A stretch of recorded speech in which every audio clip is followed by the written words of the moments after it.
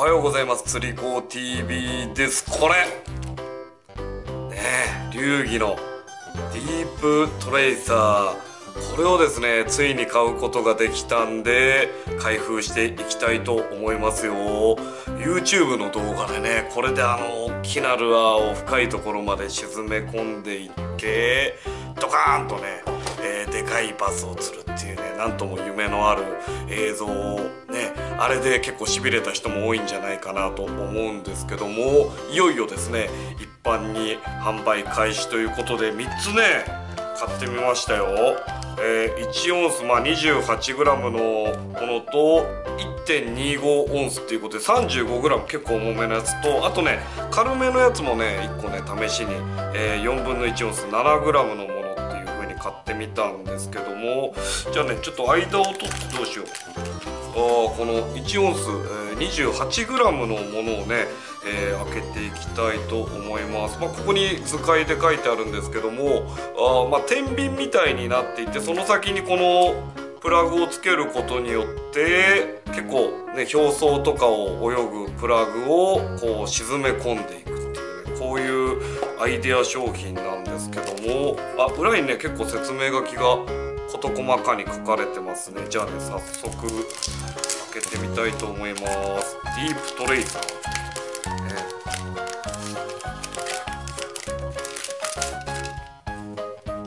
はい。こんな感じで梱包されていて上がらないよ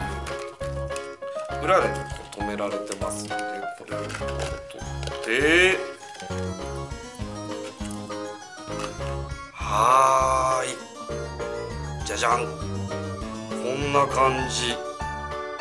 あ結構ね。そう。最初見た時はまあなんだろう。自分で作れんじゃないかなとかね真似できんじゃないかななんて思ったんですけどもよくよく見てみるとねかなりいろんなこだわりがぎっしりなんでまあ作れるっちゃ作れんのかもしれないこれはね買った方が早いかもしれないですね。っていうのがまあここがまあちゃんと溶接されていたりでまあここにね、えー、サルカンがついていてでここがねあんまり、えー、自由度は少ないんですけどもクリクリと動くようになっていてでここに丈夫そうなねこれなかなか取れませんよみたいな感じのこういう接続になっておりますでもって、えー、これをここにねつけることによってでこうあんまりね自由度を持たせないようにしてるっていうのはここがあんまりワイヤーとかで自由度があるとフロントフックと引っかかっちゃったりとか、えー、そういうことが懸念されるので極力ねここはねこの付属のこのスプリットリングにこれを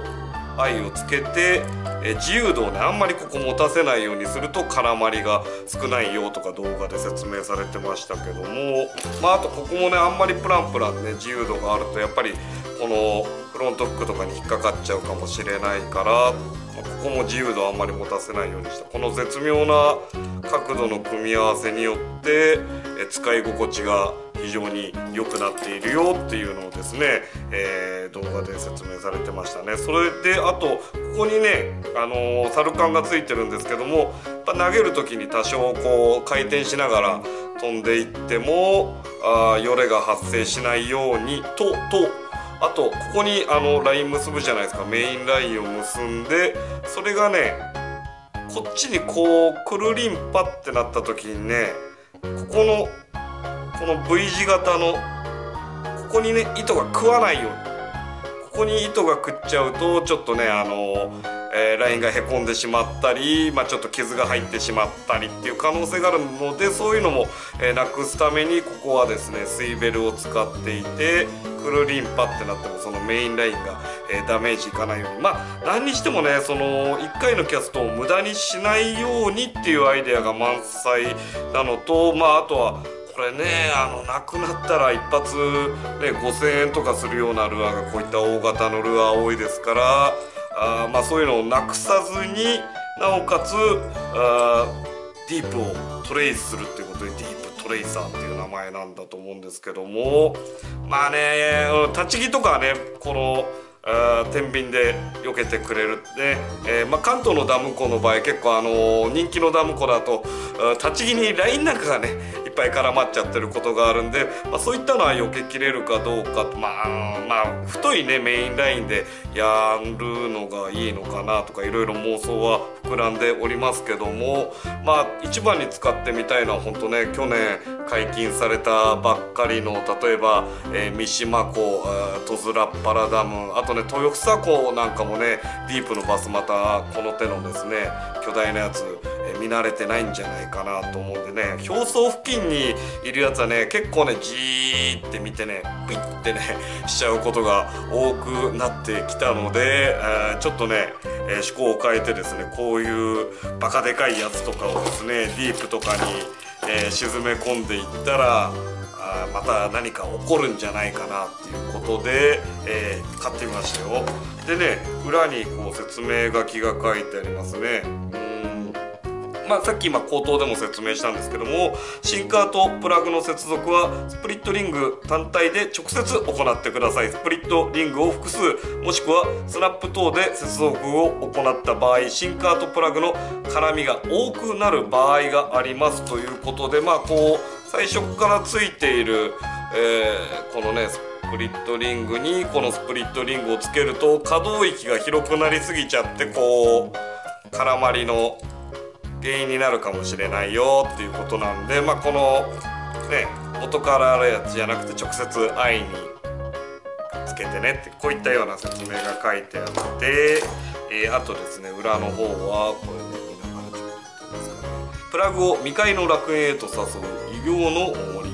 水深が浅ければ浅いほどプラグの選択肢は多い。しかし深くなるにつれその選択肢は狭まってしまう。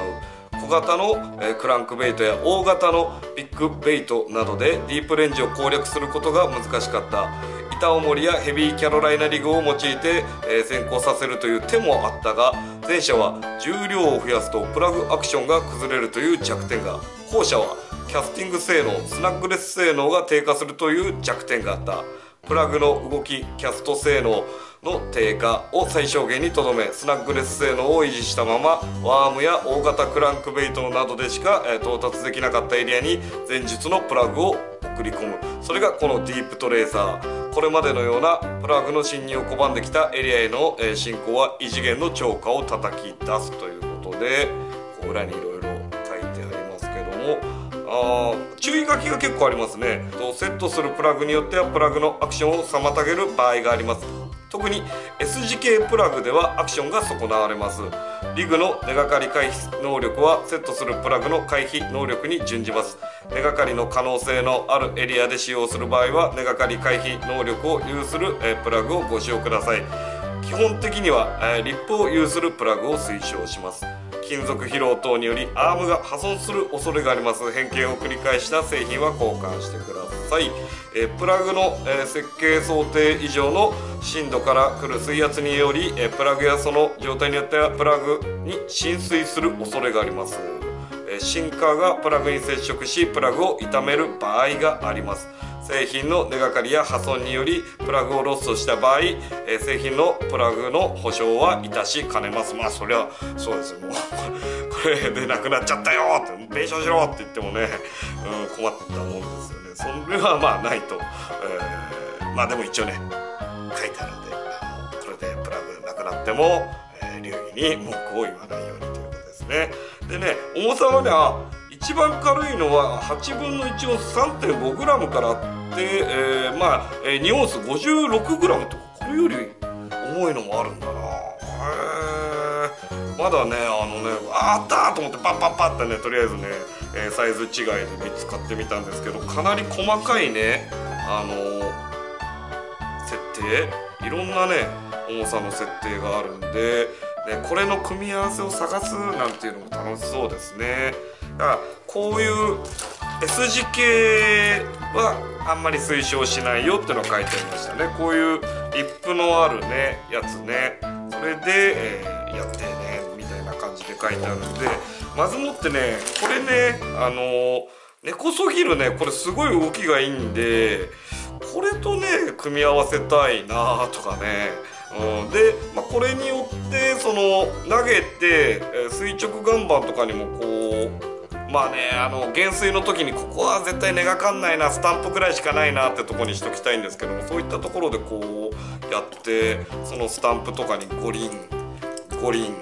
五輪とかぶつけてきたらねドカーンってね三島湖なんかでかいの食うんじゃないかなとかうんまああとはねこれもうねヘビキャロのこの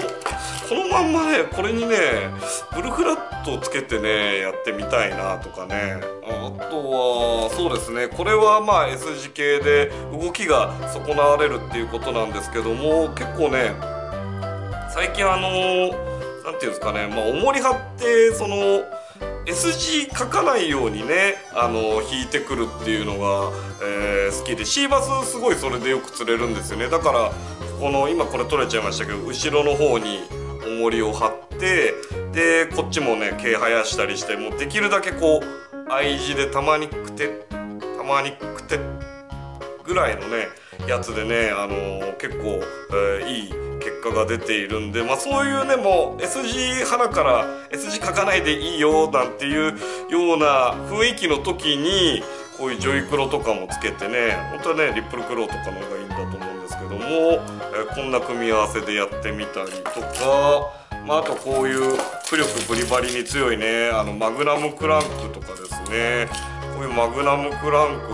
このサイズがねあのねプリーってね来て何ていうんですかね、まあ、ドラッキングすればそれはあいけるのかもしれないんですけどもなんかねやっぱね根がかっちゃうしこれ根がかるとこれも一発2500円とかがね飛んでいくのきついですから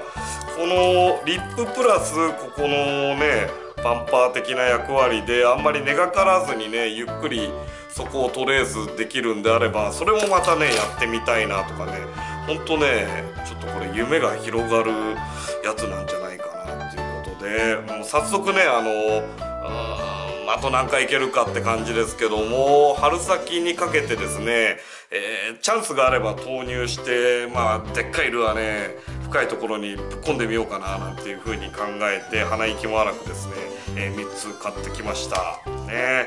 はい。これディープトレイサーっていうことでまあね、うん、今日はね開封だけっていうことで、うん、近日中にねあのー、関東のリザーバーに持って行って早速ですねあ ねねがかると嫌だな。まあでもねやってみたいなっていうねほんとおっかなびっくりですけどねこういうやつをちょっとこの重めのこれなんか1オースですけどねこういうのにつけて、えー、ダンダン秋田でけっていうねそんな釣りちょっと試してみたいなと思って買ってきてみました。というわけで本日の釣り子 TV はあそうだその前にで、えー、明日の釣り子 TV なんですけども土曜日。あのねこの前メグタスがお友達とですね片倉ダムここに行ってきてで行く前にねあのカメラ貸してくんないって言うからねあのカメラ貸したんですよ自分が普段使ってるやつね。そしたらね結構いい映像を撮ってきてでその後ねちょっとね自分で編集してみたいということでですね初めて、えー、メグタスがですね自分でテロップ入れたりいろいろねこそこそね編集したあ片倉ダム、えー、真冬の攻略編みたいなね、え動画、え明日18時に上げますのでそちらを、えー、ぜひよろしくお願いいたします、えー、ぜひですね、えー、メグタス、えー、処女作品ね、えー、処女ではないと思うんですけど処女作品なのであのメグタス頑張ったんであのぜひですね見てあのいいなと思ったらグッドボタン押してあげてください。というわけで、えー、話がだいぶそれましたが本日の釣り子 TV は流儀から新しく出たですね新機軸の釣りアイテムディープトレイサー。これを開封してみたよ。こういった動画でした。はい釣り子 TV でした。